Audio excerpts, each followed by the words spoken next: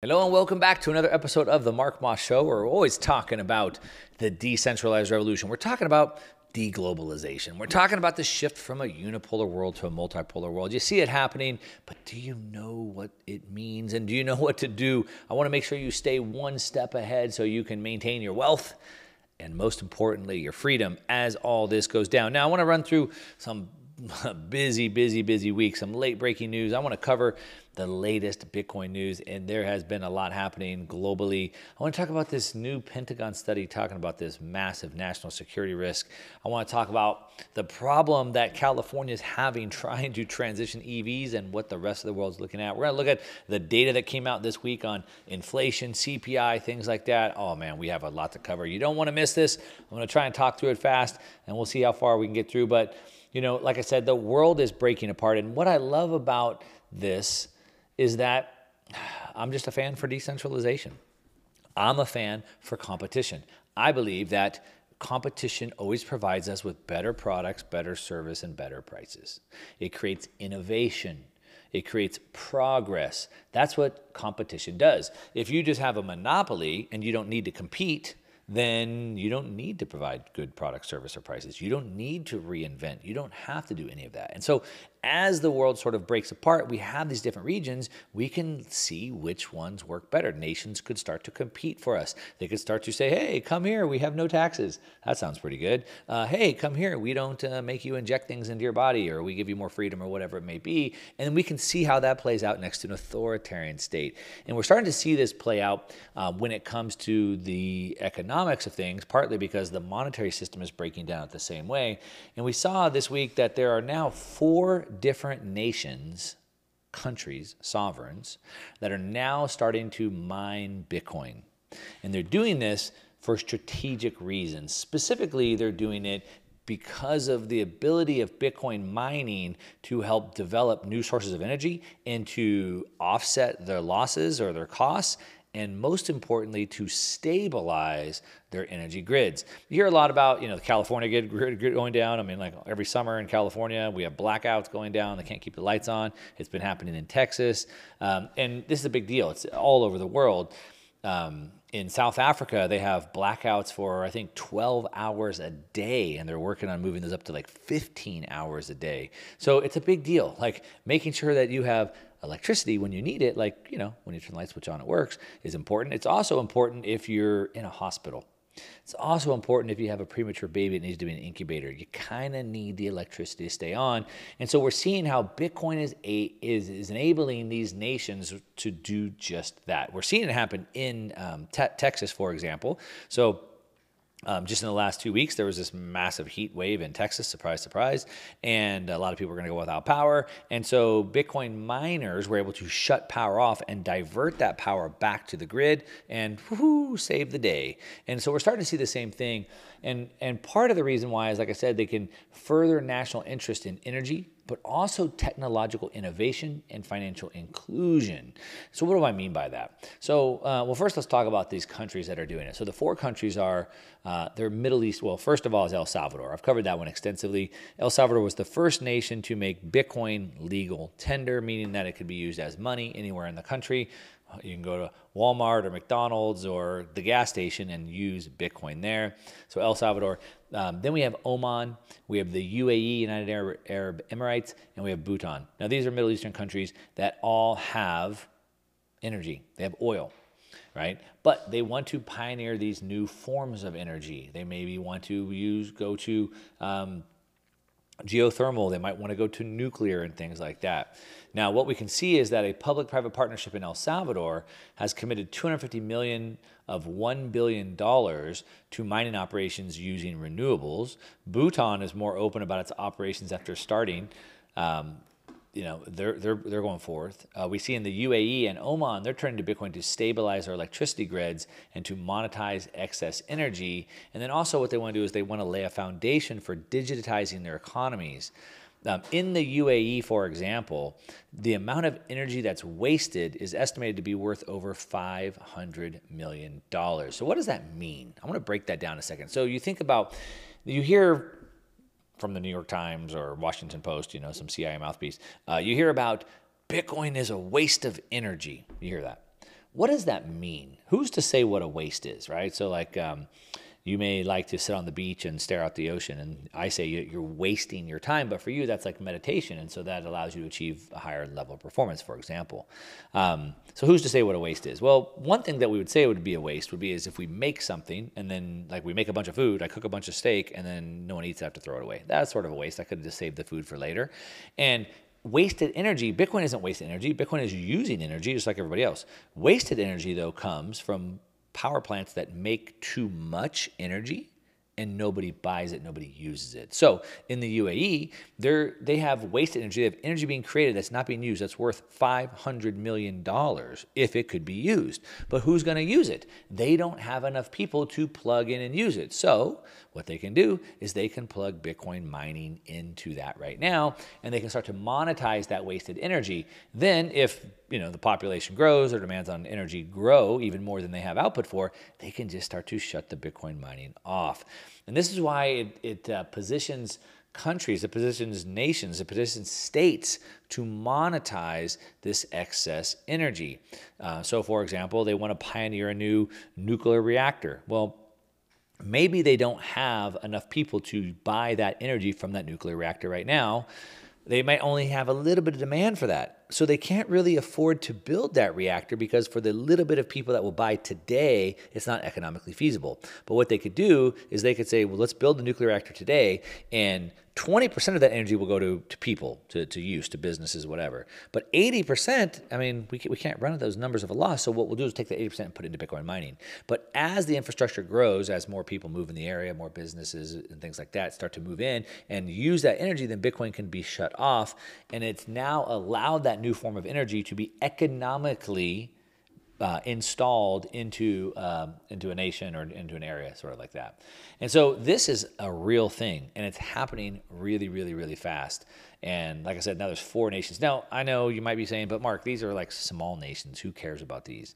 Well, the reason why we care is when we when we're looking at well anything for that matter, but really you know when I'm looking at uh, economic data, what I'm looking for is a couple things. I'm looking for uh, one, I'm looking for like directionality.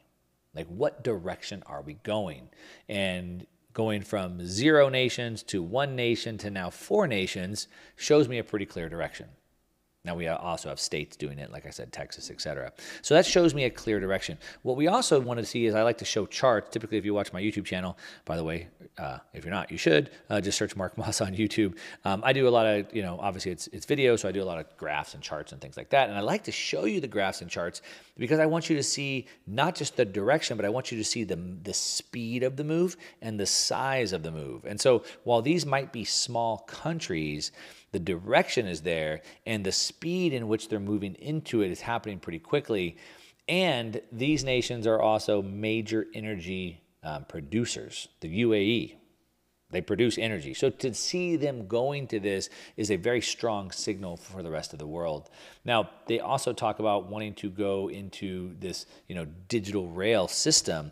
So potentially, you know, using Bitcoin as a currency, potentially using the Bitcoin network, like the Lightning network, to use it as a rail to move their own currencies over. We don't know what the future holds for them, but in my opinion, it's very, very, very interesting. And back to the world breaking apart globalization, we'll get to see in real time how El Salvador, how the UAE, how these other countries, how their power grids hold up, how they're able to deploy and develop new forms of energy. And if it works really good there, then my hope would be that nations like the United States would come to their senses and go, oh, it's, it's working really well over there. We should probably do more of that over here. One thing that we are just witnessing this trend towards is something that's very alarming to me. And it apparently is very alarming to the Pentagon uh, because the Pentagon funded a study warning us of a massive problem with national security, a big national security threat. And that's something that you typically take pretty seriously, uh, especially if you're the Pentagon, if you're in the military, like you take threats to national security pretty seriously. And in this case, what they warned us, what this study found out, is that the big warning, the big risk to national security they found is dementia among U.S. officials. Now, I've talked about this. If you follow me on social media, you see me post about it. If you don't follow me on social media, uh, hit me up. you can find me on Instagram, on Twitter at one Mark Moss. Um, my website at onemarkmoss.com has everything linked there. Um, but I've posted some of this stuff before, and you know we've seen Dianne Feinstein and Nancy Pelosi. Obviously, you know about uh, Biden, uh, but recently we've seen Senator Mitch McConnell.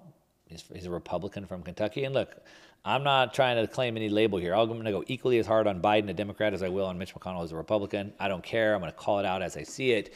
And we've seen twice now. I, I called it out the first time, and now it just happened a second time where Senator Mitch McConnell basically was like giving a talk and like just froze, just stopped talking, and had to be come and grabbed and like escorted off. Now, the first time that happened, it was very alarming to me and most people that have any sort of a brain and can think about this thing. Um, lots of comments I said I, I, I, saw were like, "Oh, you know, he pooped his pants," or uh, like this is normal. He just forgot what he said was going to say. I mean, they're trying to like rationalize that, but it's not how like healthy young people work. Like this doesn't happen. Now it might happen to some people. I just would argue that they're not healthy. Like you don't just freeze up like that. But the bigger problem, as is, as is shown in the study, is that as the national security workforce is aging, they're seeing dementia is starting to impact these U.S. officials, and as I said, it poses a, a threat to national security. And so Mitch McConnell had this second episode and he enjoys the most privileged access to classified information of anyone in Congress. So he has the highest level to the most classified information of anyone in Congress as a member of the so called, what they call the Gang of Eight congressional leadership.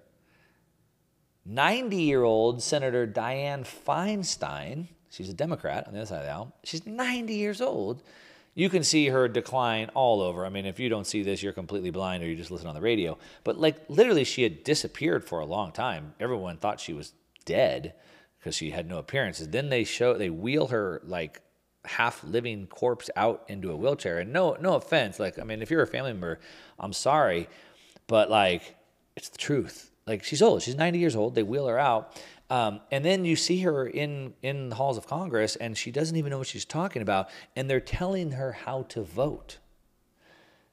She was like rambling on. Just just say aye. Just say aye. Just say. She's like aye. Like she's she's uh, signed over all legal responsibility of her estate to I believe her daughter. Like she doesn't even have control over her own estate, her own assets, her own person, but yet she's one of the highest ranking members of the government? Like, how does that make sense? How is she able to vote when she's experiencing memory loss, when she doesn't even know where she's at, when she can't even recall that she was just gone for a month? And she was part of the Gang of Eight for, for years, and she remains a member of the Senate intelligence community. Why is she on the intelligence community? Nancy Pelosi. She's a uh, she's running again. She stunned observers when she announced that she wants to run again. She's 83 years old. And again, look, I don't have a problem with old people. I love old people. I love my grandparents. Um, but at some point, it seems like we have laws in the United States against elder abuse.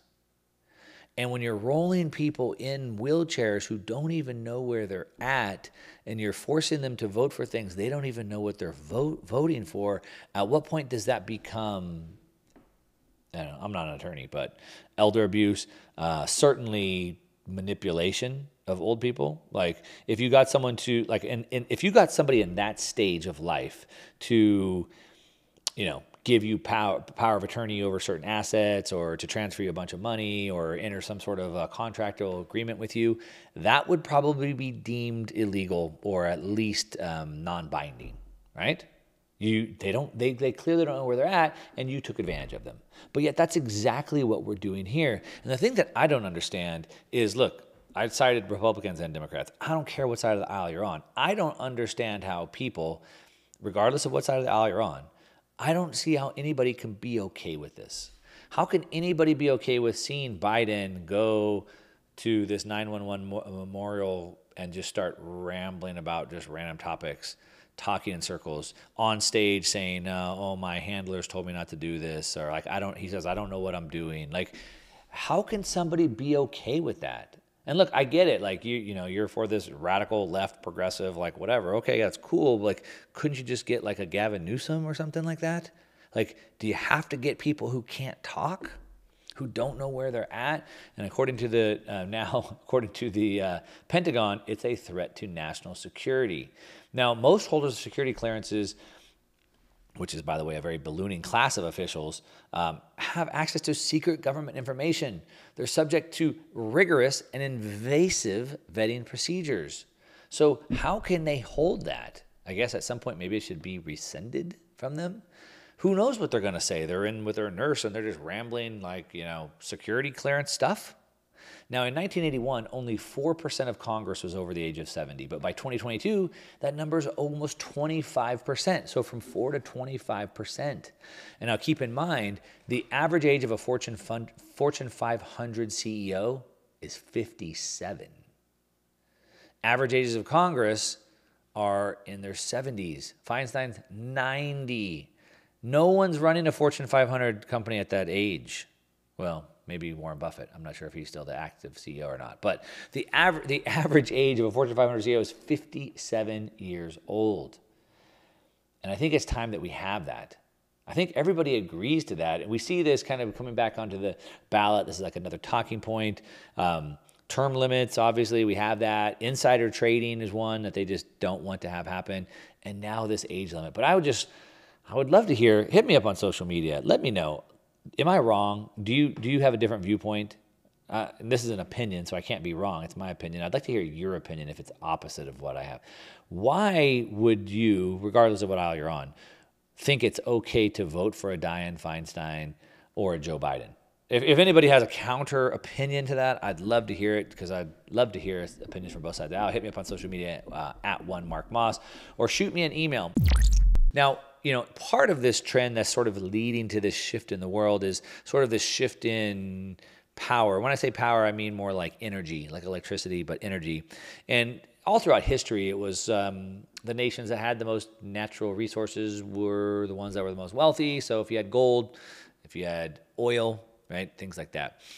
What's interesting is that you know we're now moving to this world where the nations that have the oil, the West, the United States, and Europe, no longer want to use it anymore. Um, you know, it's sort of like the fish doesn't know it's in water sort of thing, where these people have no idea how the world works and don't realize that without oil, the whole world stops. We don't have cars and we don't have trucks and ships moving stuff around, which means we don't have anything. Um, but Mark, couldn't we just make batteries for you know, tankers moving containers across the ocean? Well, probably not in the next several decades. Um, but couldn't we just use EV vehicle? Like, I mean, come on. Like, even without oil, like you don't have petrochemicals. So, like, how do you get tires and how do you get shoes and how do you get like cleaners and detergents and pesticides? But I don't want to talk about that. What we want to talk about is this new story that came out of a new study that came out that's really starting to change the narrative on this push to um, renewable energy or like Alex Epstein likes to call it unreliable energy, and specifically in regards to electric vehicles. And so an article came out this week. Um, Robert Charette, a longtime systems engineer, a contributing editor to IEEE Spectrum, and he's the author of the EV Transition Explained. And in this article, he said that the viability of a speedy switch to of the nation moving to electric vehicles is a uh, difficult conversation. He said it's a nuanced perhaps conversation. And he was basically saying that, you know, with the amount of uh, the push from governments to go to EV vehicles, with the amount of volume of EV, EV vehicles being sold today, um, the problem is, is how do we get them all charged? And there's a couple problems with that. Like, obviously, one, how do we get enough charging stations out there? One. How do we get this to be fast enough so people can actually do it? That's number two. But what has to happen order in order for that to happen? And this is where most people get lost. So you have to learn how to think past first order, second order, third order, fifth order, fifth order, sixth order, and on and on thinking. So, for example, uh, well, all we need is just more EV charging stations. Okay, great. So, what has to happen to have that? Um, well, we need more components for that. We need more regulators. We need more um, switches. We need more things like that. Okay, what else has to happen? Well, we need uh, we need a better electrical grid, and that's the problem that we're seeing in California. In Palo Alto, California, for example, California is always the microcosm for the United States. They say what happens in California then goes to the rest of the nation, and so we can see in California being the first nation or country, sorry, if California was a nation, it would be, I think, the fourth or fifth largest nation in the world by GDP, but it's a state in the United States. Uh, but they have gone in one of the fastest, uh, most aggressive shifts away from what they call fossil fuel, including nuclear, to move to this renewable energy, which is why we continue to have blackouts all the time, which is also why we have the highest energy price in the nation. In the summer at peak power, we're paying over 40 cents per kilowatt hour, which I know, I know, is shocking to you if you live anywhere else in the country. But on top of that, we also have one of the fastest adoption rates of electric vehicles. In Palo Alto, which is you know Silicon Valley, we have the highest adoption rate of EV, EV vehicles in the country. One out of five households has one. It's about 30% of all new car sales. The city incentivizes people to do that um, to get this 80% reduction in greenhouse gases um, by 2030. The problem is that in order to get there, the city's got a lot of headwinds. They have a lot of problems that they have to get over. The city's power grid shows massive signs of strain and it's starting to fall apart. Now they're trying to upgrade it, but the upgrades could take seven years and could cost hundreds of millions of dollars. So in California, during the summer, the last two years, we've been having rolling blackouts because we just don't have enough power, period. Now we have more load because of the electric vehicles. And now, for the last two years, we've seen the state of California actually say, hey, we don't have enough electricity. Don't plug your EV in. so, what do you do? Well, you might have seen some of these uh, pictures of like a Toyota Prius pulling a little trailer with a generator. So now you get the generator running gas and it charges your car. I mean, is that what we're supposed to do? So, how can this work? When we have peak loading times, everybody comes home at night, everyone needs to plug it in, and we don't have enough power for it. It's a big problem. So, you know, could this be fixed? Sure, certainly. Could we get more power to the grid? Certainly. We could build some more nuclear reactors. That only takes 25 years.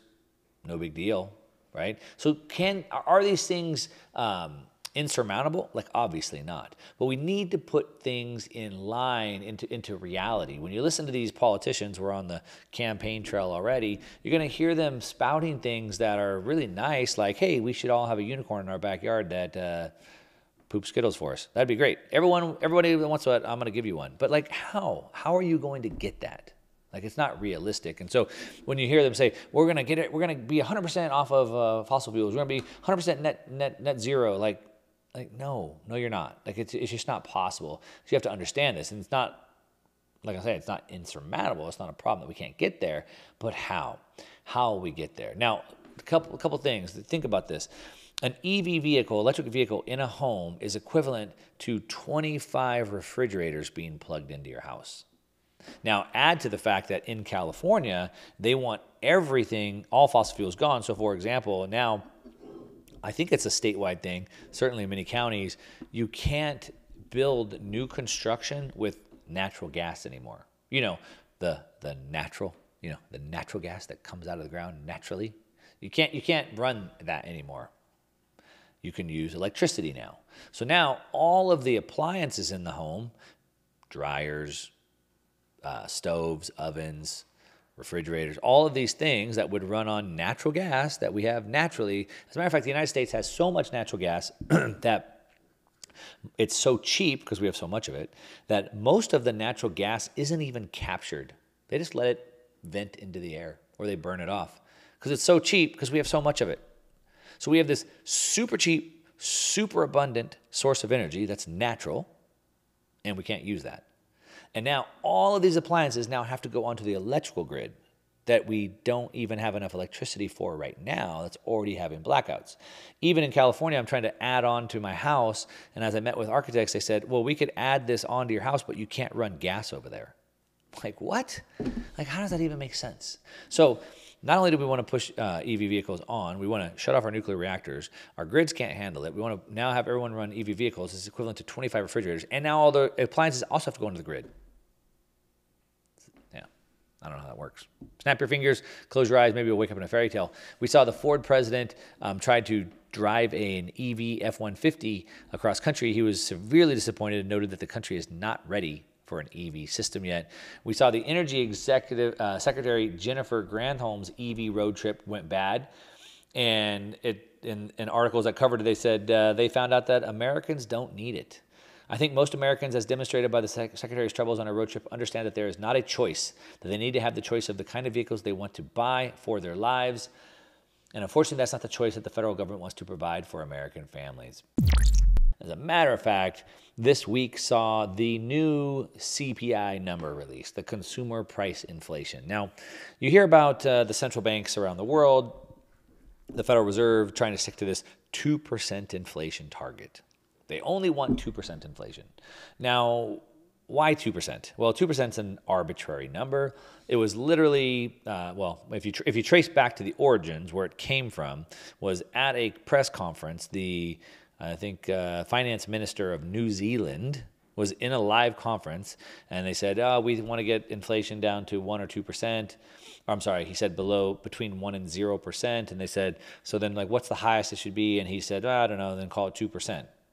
And it was like an off the cuff remark. In the 80s, uh, the Federal Reserve adopted that number in the 90s, as, uh, as, as most other central banks have done. So that number is um, arbitrary.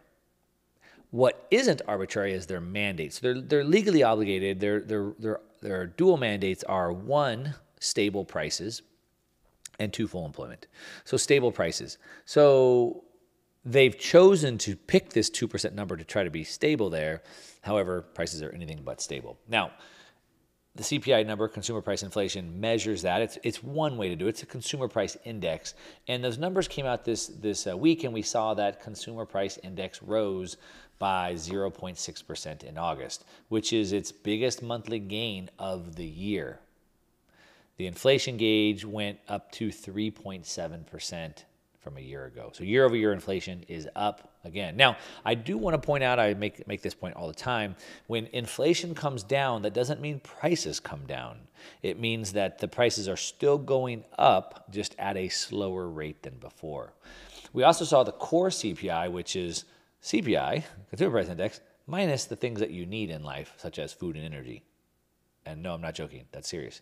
The core CPI increased by 0.3% and 4.3% uh, year over year. Now, the Fed really focuses more on the core inflation. They think that provides a better indication of where inflation is heading over the long term. So, again, if we just take out the things that you need to live, like food and energy, that's a better viewpoint, which seems kind of weird to me, but that's what they do. Um, but what we can see is that it's energy that's really driven the prices, right? So after the Russia Ukraine war situation broke out, the Biden administration started shutting down oil. Oil prices spiked crazy from like, I don't know, 80, 90 bucks to 150 bucks a barrel. They've come back down, and coming back down to reality is what's brought that inflation number back down. But now they're going back up. Energy prices have been, you know, like I said, brought it down, but it's also what's pushing back up. We can see it rose 5.6% on the month, an increase that included a 10.6% surge in gasoline. I don't know if you've seen it, but in California, gas prices are back. They're in the 550 range or even more, depending on where you're at. So food prices are going up, shelter prices are going up, but it's mostly in that energy sector, which pushes everything up because, as you know, energy drives everything. Now, the jump in headline inflation also hit worker paychecks. Real average hourly earnings declined 0.5% for the month, right? When prices go up, your real hourly earnings go down. So even though you're still making whatever, your 20 bucks an hour, it buys you less things. And so your purchasing power went down. And this is what people don't understand. Um, let's just make, I mean, let's just make everybody be able to live easier. So let's just raise their pay. Let's just uh, pay them more money. Let's pay them $30 an hour for minimum wage. But when you do that, then that that that uh, business then has to charge more for their goods and services, which then pushes the price of everybody else. So even though those workers are making more money potentially, that more money will still buy them less goods and services. So even though on paper they went from whatever 20 to 30 bucks an hour, hoo hoo, uh, at the end of the day, when they go to the grocery store, they take home less goods. But the important thing that I want to dig into is here, as I've been pretty vocal about this for well over a year, even when inflation was in the 7 8% range, I said that this would be some of the lowest inflation that we'll see for the rest of the year. I'm sorry, for the rest of the decade.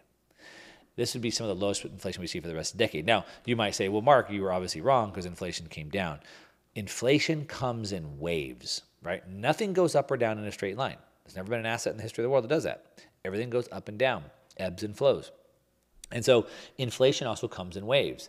And this is round two of the post COVID price inflation wave. It went up like crazy. They were able to bring it back down, and now it's going to go back up again. Now, another index that we look at is called the PPI or the Producer Price Index, and that just came out as well, and it's bad. Okay, PPI is up 0.7% in August, higher than the 0.4% estimate, almost double the estimate. That's not good. It's the biggest monthly gain since June of 2022. All right, that's a big deal. Core PPI rose 0.2%, which was in line with expectations, so that one's okay. We saw retail sales climbed higher than expected, 0.6% in August, uh, well above the 0.1% estimate. Now, CPI follows PPI, okay? Because the producers have to make it first before the consumers get it right? So PPI is more of a leading indicator.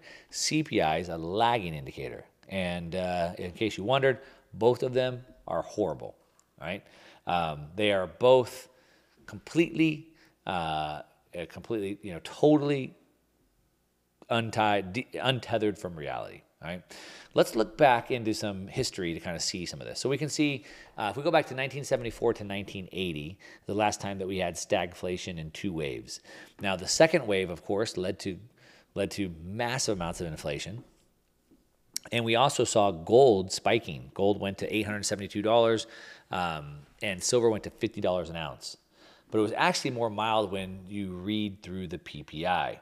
So PPI topped out in November 1974 and bottomed 23 months later in October 1976. From that point on, for the next three and a half years, we were headed into the most extreme gold and silver bull markets in modern history. The dollar was nearly destroyed. Now, it's important to understand at this point, we had just come off of the gold standard a couple years earlier. And so people were able to go buy gold again in 1974, and so it started taking off like crazy. We also didn't have this, uh, you know, crazy stock market like we have today. We didn't have millions of equities to go into. Um, the average American wasn't investing into the stock market at the time, and so that was a lot of reasons why we saw gold and silver take off like it did. Uh, but at the time, the inflation was so strong, and people were going, getting out of the dollar as fast as they could into anything else, that it nearly destroyed the dollar. Um, and it was only Paul Volcker raising the Fed interest rates over 20% that seems to save it. All right. So if we look at today, we see the same thing. PPI has been in a year over year decline for 15 months not quite the 23 months we saw in the 70s, but you know, history rhymes, it doesn't repeat. Um, retail sales should be falling if people are trying to save dollars, and to some extent, they are, right? We can see they're cutting spending. However, when counted in dollars rather than units of goods and services acquired, we can we, we see the difference. Now, what's probably happening is that people are buying less and less stuff for more and more money. In other words, retail spending is concentrated in more and more basic necessities, showing up as increased spending when it's actually decreased spending in real terms. So they're not buying as many things, they're spending more dollars, but now they're just buying food as opposed to spend. So let's say you were spending a thousand dollars a month discretionary, and you were buying going on uh, buying a bunch of things. Now you're still spending a thousand, but you're just buying food. So you've increased your spending, but you've decreased it in spending of real terms, if that makes sense. Now, uh, gold took off before, and gold could certainly take off again. Um, it looks like it's poised for a breakout. Now, I've been working with a company called Universal Coin and Bullion. And I've been working with them because I trust them. The founder, CEO, Dr. Mike Fuljenz, wrote the consumer alert on gold coins for the Texas Attorney General. And not only do I feel like I can trust them, they have great prices because we want both, right? And they have a very special offer for my listeners, Universal Coin and Bullion. You can get a special price on a silver one ounce American Eagle coin with no dealer markup for just $27 each with a limit of three, and you can even get free shipping. So if you want to take advantage of that deal, which I highly recommend, give them a call. Call Universal Coin and Bullion to get this $27 Silver Eagle coin deal today. Plus, great prices on gold, silver, and lots of other things. Give them a call 1 800 UCB Gold. Tell them Mark Moss sent you. Again, 1 800 UCB Gold or go online to universalcoin.com slash Mark Moss. If you're just tuning in, you've been listening to The Mark Moss Show, running you through the decentralized revolution and the latest breaking news headlines of this week so you stay up to date on what's going on. That's what we got for the show today. Thanks so much for listening. Hit me up on social media at one Mark Moss and let me know what topics you'd like me to cover so we'll get more of that on the next show. And that's what we got. Thanks so much for listening. Until next time.